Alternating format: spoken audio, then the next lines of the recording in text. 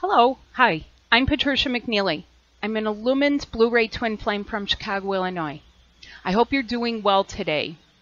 Although, by all accounts, these energies are intense, and they're intense for everyone. I'm not immune to it. I'm a part of this. I'm also a teacher. So the first thing I want to let you know about these energies is the crunch is on.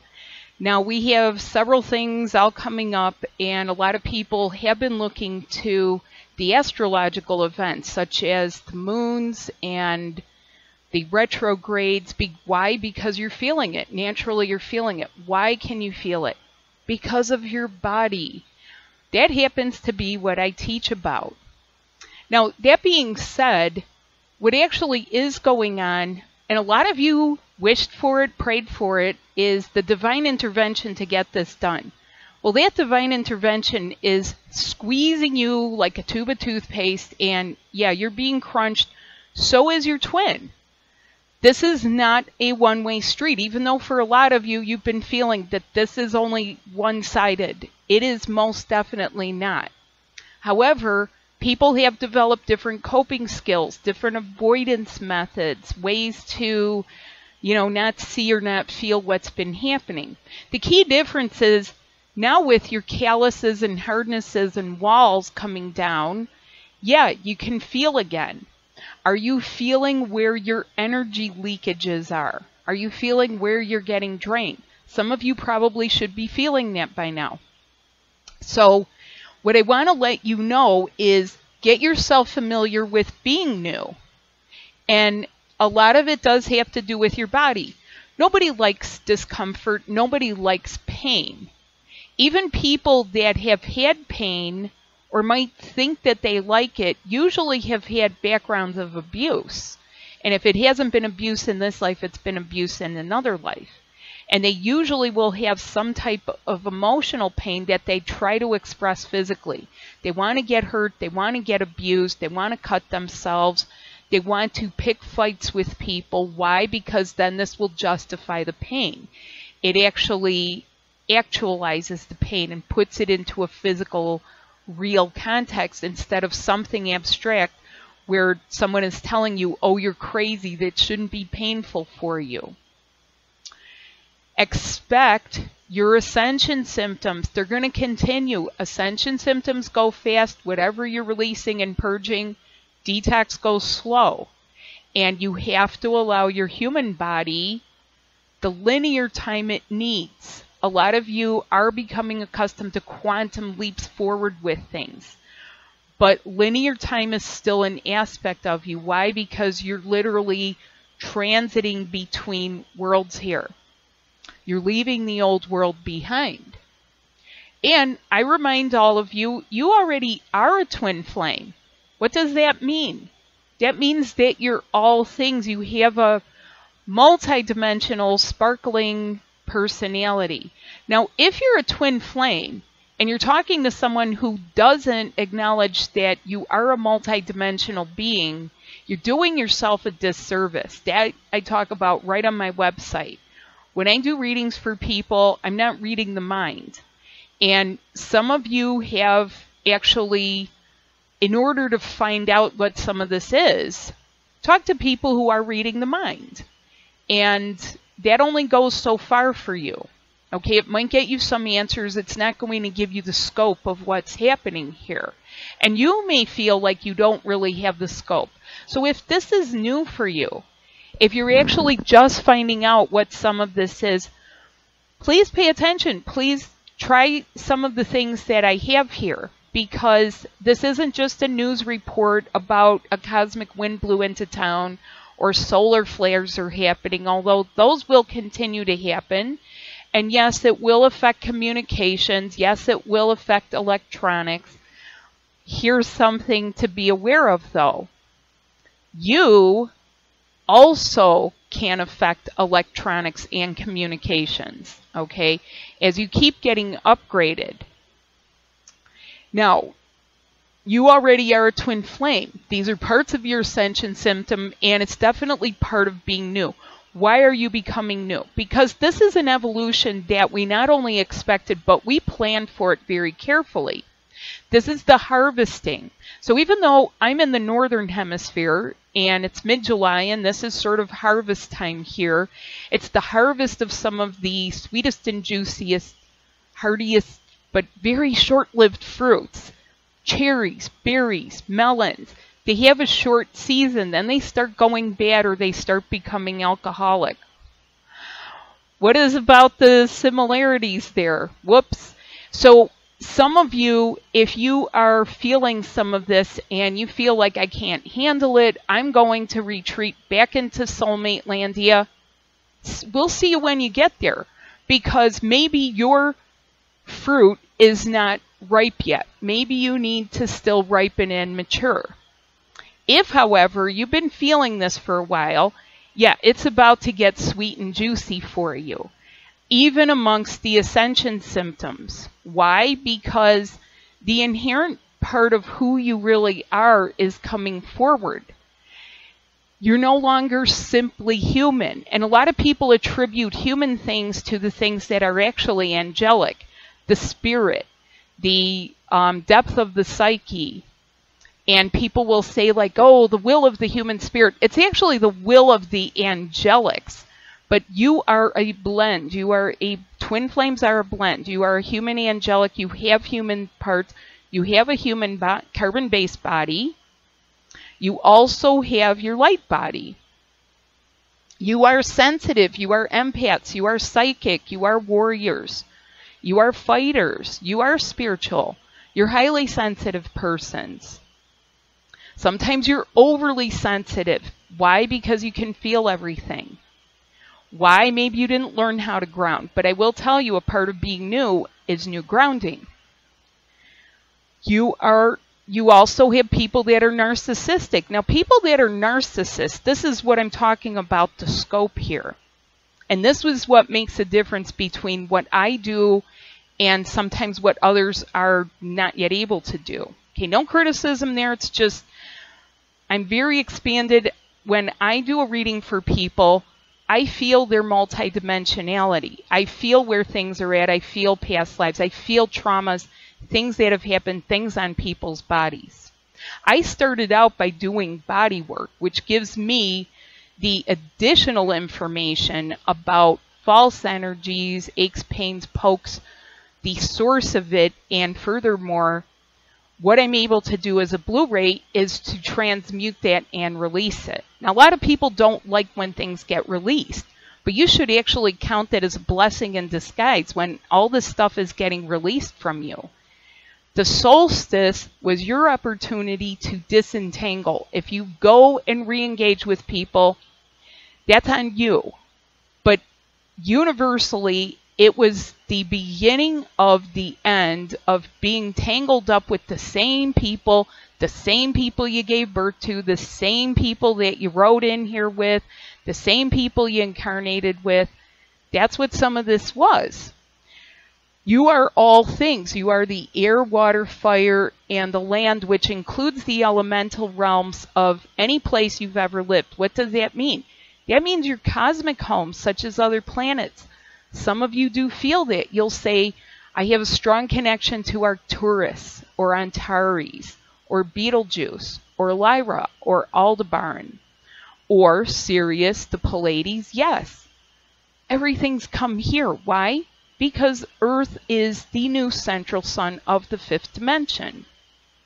So, all base things will leave you. And they're going to continue leaving. They will continue and continue and continue until it's scraped out. So that's why you feel like you're scraping the bottom of the barrel and why you're being crunched, squeezed, scraped, poked, pushed, prodded, propelled, compelled, and there's a reason. The reason is being new. Being new. Now, some of you are having things going on with your heart back, your lungs, your circulatory system, your lymph, and I do have things to help you with that. I have a webinar. I haven't talked about this one much. It is called the Human Body in Transition. Now, I frequently promoted my light body in transition. This is about your human body in transition, and it's time for it. I present these things because even though I went through it for example, two years ago or three years ago, or actually in different parts of my life. You may have two in different parts of your life. And you've sort of plateaued out. You hit a level and you're comfortable with it. You're sensitive, you're psychic, you're comfortable, you're empathic, okay? But now the push is on again. Or you're a fighter, you're a spiritual warrior, okay? That's going to one time be a paradox. A contradictions in terms or what we call an oxymoron, where being spiritual and being a fighter or warrior are actually not going to go hand in hand anymore. You won't have to fight for causes. You are your first cause. So the human body in transition does address lungs back, circulatory, heart back, and several other key areas of your body. Why? Because you're going to be together with your twin flame. That's the whole purpose of being born here. To be together with your twin flame. What's that? You talked to your twin and said, they said they didn't want to be with you. They told you off. Well, why have a conversation about it? Why don't you get busy with the way from the inside? It's time for the inside work. Okay, the very, very teeny tiny parts of you, your circulatory system, your back, your central nervous system. And yes, how would you get home to the fifth dimension? You've lived once as ascended beings. How do you get back there? Universally free to fly, where I talk about the going up to the new earth, down and in, and this is where some of you who have been very much the empath and sensitive and psychic, you're trying to do things in a certain realm. But what you're going to find is that it you struggle to bring your energies down and into your body. You're very floaty, you're very airy. And your twin might be very earthy. So you might have the air and the fire, and they have the water and the earth, and you still need to integrate with each other. So this is about the down and in and the integration. This is also the physical embodiment and your abilities to fly. So I have light codes in both of these activations as well as supportive exercises that you can and should do for your physical body to feel comfort with the ascension symptoms. Uh, this one has about six. This is also, a lot of you are finding this out. In order to be new, you are releasing the mental emotional, which is more than the ego. The ego is a very small part of your true essence. You're actually releasing mental, emotional, all types of things. Okay? Like I'll give you, for example, I, I once said this example. There were people that uh, believed that um, the earth is flat, and there's still people around that believe it, okay? And what is that? I mean, I'm not here to prove it or disprove it. What I'm saying is these are mental, emotional things that stay stuck in there.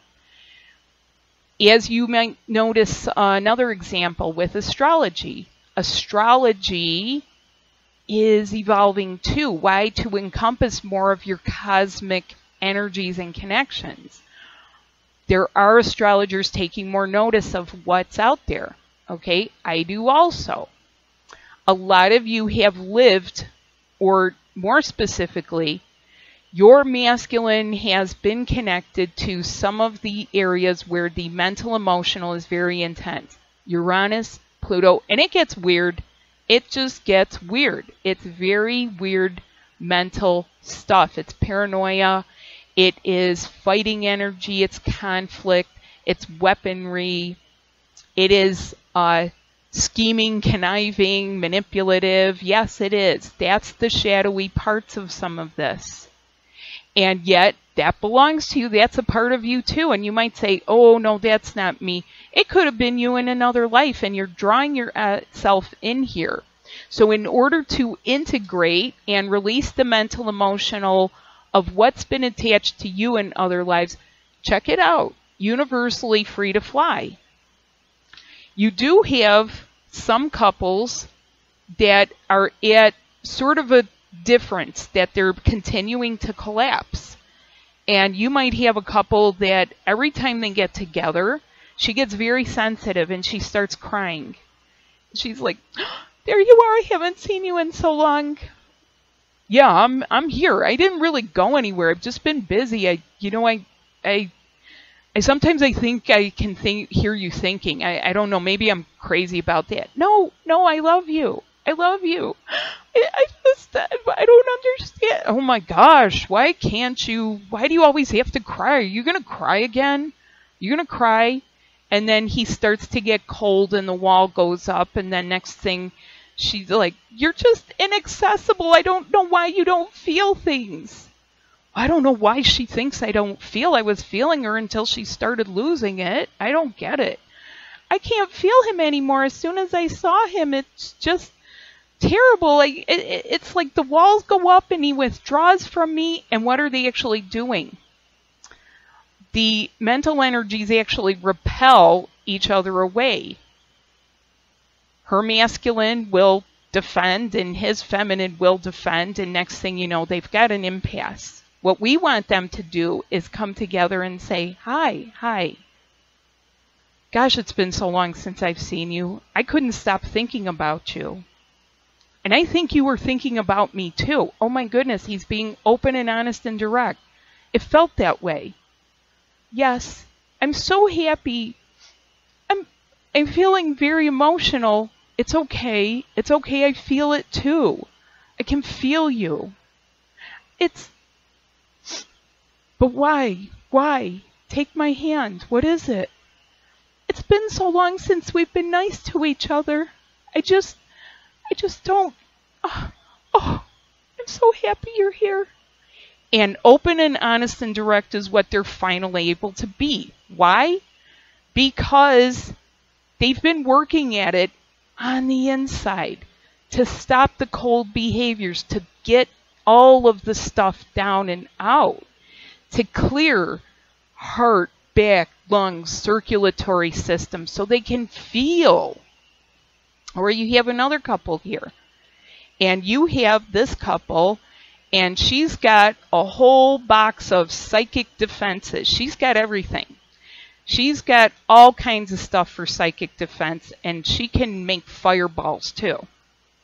And him, well, he's a warrior. He handles things in a very earthly manner and they see each other and she says, you know, you just need to protect yourself from people. That's how their energies are getting to you. And then you want to go, you know, protect and defend and run off. You have to do it my way. And he's saying, but that's part of what I do. I am a protector. I am a guardian. That's how I feel my energies. I am a keeper of the flame. I am the one who is here to ensure that love is able to be here. I'm the one that witnesses things and I get it gone. And I've got all kinds of ways to do that. But you're wearing armor. You're always wearing armor. But you're always doing some hocus pocus. I, I don't get it. But my way works. But my way works. Don't you understand how many people I've been able to get away from us and intimidate? But it, but it's not right. Yes, but neither is some of the stuff that you're doing. You know, and another place and time, people would have called you a witch. Well, you say witch like that's a bad thing. Oh, I'm not saying it's bad. I'm just saying, you know, people won't understand. Well, I don't care if they understand. That's the right way to do it. That's my way. And then, you know, I don't care. Well, I had a dream the other day and people were coming for you and going to hurt you and I wanted to fight them. And what do you have here? They feel each other, but this is all old paradigm stuff. He's the spiritual warrior. She's, you know, she's over here. And they're both very good at what once was. But what they need to find out is being new. And what they're not talking about is being in love with each other. They they know it, but they're not moving it along. How do you move it along? Universally free to fly with some of the beliefs. Some of the beliefs about, you know, how it works or what it is. Your body is new. Get used to being new. So that's all I have today. The links will be on my website and in the description below. Thank you to everyone who has had a session with me. The sessions have been on fire. Yes, I do sessions, I do readings, I do causal body alignment. What's your causal body, you ask? Your causal body is how you cause things to happen. It's your manifester. It's your feeler and your manifester. And that's why, for a lot of twin flames, the law of attraction doesn't really work for you because you're in a transition out of the old and into the new. The things that you will manifest will be different than what you once thought you maybe wanted, too. So, that is something else that I do. I do follow ups, and I will come back with some more uh, live webinars, live groups in August. August is a big month. We've got two eclipses, one lunar eclipse, one solar eclipse, one really huge one. You're getting harvested. I encourage everyone, stick to the plan. Stick to your own true love story because you're not crazy as to why you met this person to begin with. If you're having trouble discerning, reach out to me and have a reading or a session because while you always need to know who it is, getting the proper discernment and feeling again, that is what I excel in. So, that being said, have a wonderful weekend and week. Keep knowing that uh, this energy is going to feel like a grumpy old person in the car. Do you ever drive in a car with someone and they they push the accelerator like this, like, and you're like, just get there already. Just get, just, oh my goodness. Just keep the accelerator at a steady pace. It's not going to. You're going to get pushed and put, you're going to get pushed and ease up and push and ease up. Find a comfort level with this because that is how it is going to be for a little bit. If you take a retreat, we'll see you when you get there because maybe it's not time for you to be harvested, but there are a lot of people who are. It's about a million and a half couples in the first wave. There's a first, second, and the third wave is getting prepared now. Those are some of the people that are just finding out what some of this is, or just meeting the person, or just re encountering their childhood sweetheart. So, thanks so much. Check it out. Human body in transition, universally free to fly. Two separate ones. They're both good, and I highly recommend them. I get wonderful feedback on this. Enjoy your weekend and stick to your essentials. Bye now.